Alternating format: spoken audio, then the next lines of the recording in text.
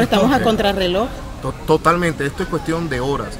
Ayer la delegada me fue clara, si el semestre académico no logramos salvarlo, va a haber medidas drásticas del ministerio. Yo me he presentado como una necesidad en este momento porque desafortunadamente, así alguien me quiera o no me quiera, eh, este es un tema de que tiene que haber una representación legal para poder adelantar los procesos ante el ministerio. Después que pase conmigo, ya lo veremos. Esa es mi única intención y por eso asumí el reto, porque yo hago parte de las bases de esta institución.